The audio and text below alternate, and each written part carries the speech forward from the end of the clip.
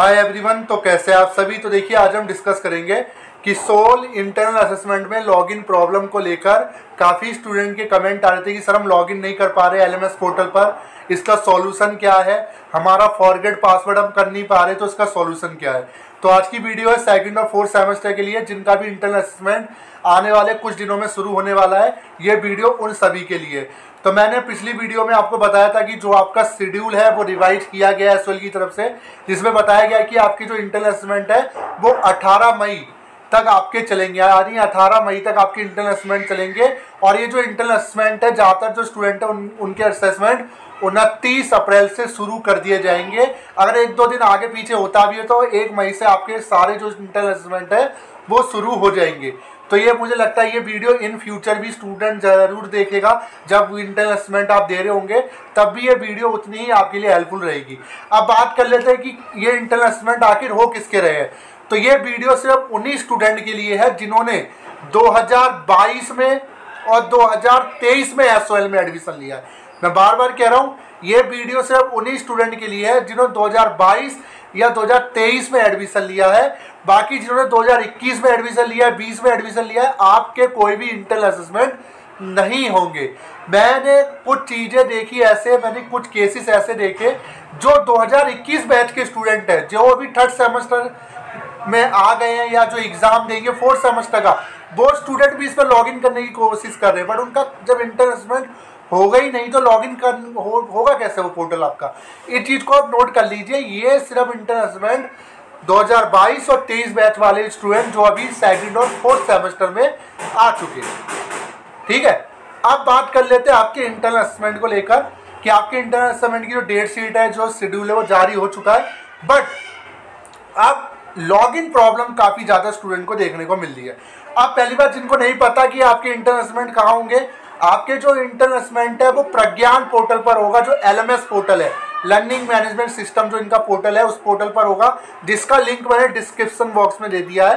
Pragyan DU SOL dot in, उस पर जाके आप कर सकते हो। लिंक मैंने डिस्क्रिप्शन बॉक्स में आपको दे दिया है। बाकी इस वीडियो के माध्यम से भी आप देख सकते हो, लिंक आ रहा होगा। यही आपका लिंक है, यही आपका यूआरएल है, आपके पोर्टल का। इस पर जाके आपको लॉगिन करना होगा। लॉगिन करने के लिए आपको यूज़र आईडी चाहिए। यूज़र आईडी में आपका रोल नंबर लगता है। रोल नंबर के पीछे at DU dash SOL dot in ऐसे करके लगता है जो मैंने ऑलरेडी बता चुका हूँ, जिनको नहीं पता, आपको पता होगा, ऐसा नहीं हो सकता, क्योंकि आप पहली बार नहीं दे रहे, आप सेकंड टाइम देने जा रहे हो इस पोर्टल पे। यू अब बात की जाए पासवर्ड की तो मोस्टली ऐसे स्टूडेंट है जो अपना पासवर्ड भूल चुके हैं, या ऐसे भी स्टूडेंट है जिनको याद ही नहीं है पासवर्ड क्या है तो ऐसी कंडीशन में अगर आप अपना पासवर्ड भूल गए या पोर्टल लॉगिन नहीं हो रहा है तो आप एक काम कीजिए, आप पासवर्ड को फॉरगेट कर लीजिए। अब काफ़ी स्टूडेंट को परेशानी ये हो रही है कि पासवर्ड फॉरगेट को लेकर मैं आपको एक चीज़ क्लियर कर देता हूँ। देखिए, जब भी आप फॉरगेट करने जाओगे तो वहाँ पे आपको अपना ईमेल आईडी नहीं डालना है। वहाँ पे आपको अपना यूज़र आईडी डालना है। जो भी यूज़र आईडी से आप लॉग इन करते हो, वो यूज़र आईडी डालोगे, उसके बाद वहाँ पे दो ऑप्शन रहेंगे ईमेल और मोबाइल मोबाइल वाला ऑप्शन काम नहीं कर रहा है। ईमेल पे आपके एक लिंक आएगा, एक ओटीपी मतलब कह सकते हो, एक लिंक आएगा, एक मेल आएगा एलएमएस द्वारा। ईमेल आपको सिलेक्ट करना है, वैसे तो बाय डिफ़ॉल्ट ईमेल ही सिलेक्ट रहता है। उसके बाद नीचे कैप्चा डालना है। कैप्चा में भी काफ़ी स्टूडेंट को परेशानी हो रही है। क्या परेशानी हो रही है? वो कैप्चा सही डालते वहाँ रॉन्ग शो करता है। ऐसा पॉसिबल ही नहीं हो सकता। आप ठीक से डालिए। अगर ठीक डालने के बाद भी रॉन्ग शो हो रहा है, इसका मतलब एलएमएस पोर्टल की सर्विसेज़ में कुछ प्रॉब्लम है। वैसे ऐसा नहीं होना चाहिए। हंड्रेड परसेंट क्योंकि मैंने भी ट्राई किया था कुछ स्टूडेंट का। वो ओटीपी जो मेल है वो जा रहा है। अब मेल किस पे जाएगा? मेल आपके उस ईमेल पर जाएगा जो ईमेल आपके एडमिशन के टाइम पे आपके अकाउंट से लिंक है, जो आपके एडमिशन से लिंक है। उसी ईमेल पे आपको एक लिंक जाएगा मतलब एक मेल जाएगा। अब होता यह है कि काफ़ी स्टूडेंट ऐसे भी कंप्लेंट कर रहे हैं सर मेरा ईमेल आईडी बंद हो चुका है। अब मैं ऐसी कंडीशन में क्या करूँ? तो अब देखिए, मैं आपके ये चीज़ कह रहा हूँ, अगर ईमेल आईडी आपका बंद हो चुका है या ब्लॉक हो चुका है बट वो ईमेल पहले मेरे पास था और मेरे पास नहीं है तो एस नॉर्थ कैंपस जाइए, अपने जो भी नियर कैंपस है, वहाँ जाकर अपना ईमेल को चेंज कराइए, उसे अपडेट करवाइए। ईमेल के बिना आप फॉरगेट पासवर्ड नहीं कर पाओगे, क्योंकि मोबाइल ओटीपी की जो सुविधा है, वो काम नहीं कर रही है। बाकी अगर ऑनलाइन तरीके से ईमेल चेंज की बात की जाए, वो ओ टी आ ही नहीं रहा तो चेंज कैसे होगा? तो ये सारी सर्विसेज़ अभी ऑफलाइन ही आप जाकर करवा सकते हो।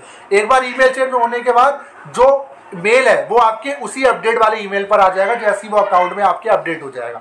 ठीक है? उसमें ईमेल आएगा ईमेल पे एक लिंक दे रखा होगा। उस लिंक पे क्लिक करोगे, वहाँ जाकर जो अपना पासवर्ड उसको रीसेट करोगे न्यू पासवर्ड डालोगे कंफर्म करो कंफर्म पासवर्ड करोगे, आपका पासवर्ड जनरेट हो जाएगा।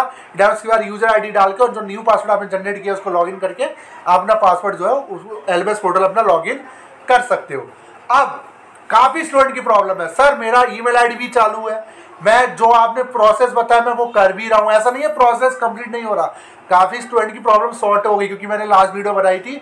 उसमें काफ़ी प्रॉब्लम जो स्टूडेंट की उसको सॉर्ट आउट हो गई। बट प्रॉब्लम ये होती है कि काफ़ी स्टूडेंट ऐसे भी थे, जो यही कहते हैं सर मैं सब कुछ करेक्ट डाल रहा हूँ, पर ईमेल ही नहीं आ रहा। इनवैलिड बता रहा मैं क्या करूँ? अगर ऐसा कुछ हो रहा है तो या तो आपकी डिटेल में कुछ गलती है, या या आप जो एलएमएस पोर्टल है प्रज्ञान पोर्टल है। उसमें कुछ इशू हो सकता है कि आपका जो मेल है, हो सकता है कुछ देर बाद आए। ठीक है? तो क्योंकि अभी तक असेसमेंट शुरू नहीं हुए हैं असेसमेंट की, क्योंकि जब भी अगर आप पोर्टल लॉगिन करोगे तो आपको वहाँ पुराना असेसमेंट ही शो कर रहा होगा। तो असेसमेंट जैसे शुरू हो जाएँगे, हम आपको बता देंगे। फ़िलहाल अपना पोर्टल एक्टिवेट करके रखिए। मैं ये कहने का मतलब मेरा ये है। लॉगिन प्रॉब्लम का यही सॉल्यूशन है। इसके अलावा कोई सॉल्यूशन फ़िलहाल है नहीं, क्योंकि अभी तक हेल्पलाइन नंबर जारी नहीं किए गए हैं। और जैसे हेल्पलाइन नंबर आएँगे, मैं बता दूँगा। फ़िलहाल यही है कि ईमेल वगैरह करके, अपना पासवर्ड वगैरह जनरेट करके क्रिएट करके रखिए यूज़र आईडी एक ही होता है, सबका वो चेंज नहीं होता। पासवर्ड आप जितनी चाहे मर्ज़ी चेंज कर सकते हो, कोई दिक्कत वाली बात नहीं है। और एक हाँ जब भी आप लॉगिन करते हो तो मैं टी सी एस ऑन करके लिखा आता होगा, पाँच मिनट का वेट करने के लिए बोलता होगा। ऐसी कंडीशन में पाँच मिनट बाद, दस मिनट बाद दोबारा लॉगिन करो लॉगिन हो जाएगा। होता है डबल बार, डबल ट्रिबल बार आपका एक से ज़्यादा अकाउंट में अगर आप लॉगिन करते हो, प्रॉब्लम आता है। या तो एक ही ब्राउज़र में लॉगिन करो उसको, या दूसरे ब्राउज़र में क्या, उसको पहले लॉग आउट करो, फिर लॉगिन करो। या तो कुछ देर बाद वो ऑटोमेटिक दोनों डिवाइस से लॉग आउट हो जाएँगे, फिर एक डिवाइस से लॉगिन हो जाएगा। इसीलिए होता है, दोनों डिवाइस में अगर लॉगिन करके छोड़ रखा होगा तो प्रॉब्लम आपकी आएगी, क्योंकि एल एम आप एक बार में एक ही डिवाइस से लॉगिन कर सकते हो, ठीक है? तो बस ये इतना ही था इस वीडियो में। बाकी पुराने पोर्टल पे नहीं एलएमएस पोर्टल पर होगा, जैसे असेसमेंट शुरू होंगे, आपको बता देंगे। बाकी उनतीस अप्रैल से बोला गया है, बट एक महीने तक सबके जो असेसमेंट है, वो एक्टिवेट हो जाएँगे। और जैसी गाइडलाइंस आएगी, हम आपको बता देंगे इस बार भी। तो वीडियो कैसे लगी, जो बताएगा। तो हमारे चैनल के साथ जुड़े रहिए और देखते रहिए college update thank you so much